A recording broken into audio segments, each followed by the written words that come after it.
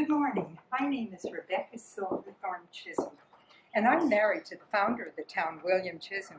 He's very handsome. William and I have 10 children. Most of them are grown now, but there are still a few living with us here, and they enjoy playing here out in the garden.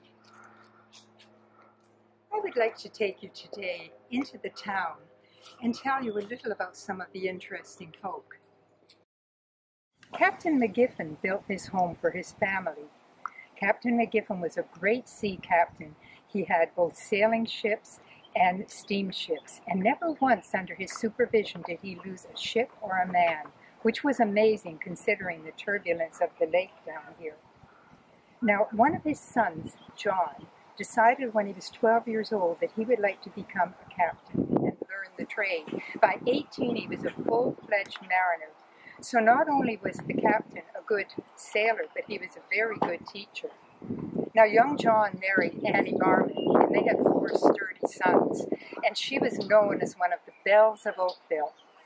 I have four daughters that are better looking than she is. That was pleasant joining me in a walk. I really enjoyed that. Let's do it again someday and we'll talk about other folk in town. For more information about Oakville's history, visit our website at oakvillehistory.org, our Instagram page at Old Oakville, or our Facebook page at Oakville Historical Society.